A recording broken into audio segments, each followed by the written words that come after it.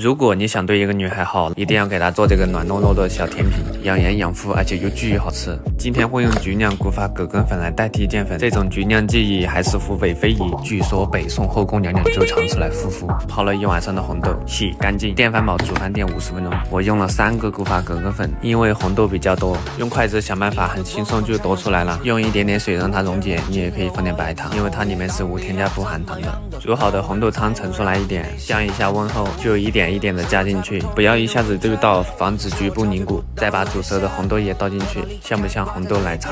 盖上保鲜膜，上锅蒸三十分钟。这边的橘皮也不要浪费，可以泡茶。蒸好了是这个样子，还要放进冰箱冷藏两个小时。最后切块就可以装盘了。葛根粉红豆糕，吃来养生佳品啊！我来赏一块。